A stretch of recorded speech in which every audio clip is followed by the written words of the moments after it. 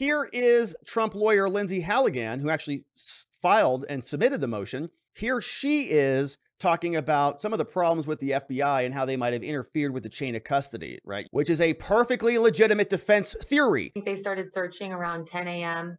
and I didn't arrive until about 11, 11:30. Um, so I wasn't there for any sort of scuffle that happened before. I can't talk, I can't speak to that. But when I arrived, I asked if I could go inside the property and they told me no. And I asked why not. And they said, you can come in when we're done.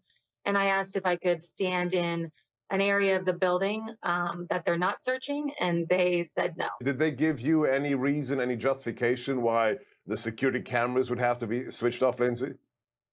No, they didn't ask that to me specifically. All right. And of course, they're going to be attacking that chain of custody, rightfully so, something you would do in any criminal case.